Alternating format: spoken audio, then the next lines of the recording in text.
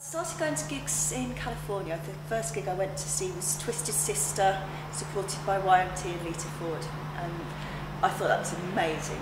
And um, and I haven't stopped going to gigs since. I don't particularly like festivals so much. Um, that, that's kind of too much for me, really. I just, prefer, you know, unless they're the, the small things, but I don't really like these big things.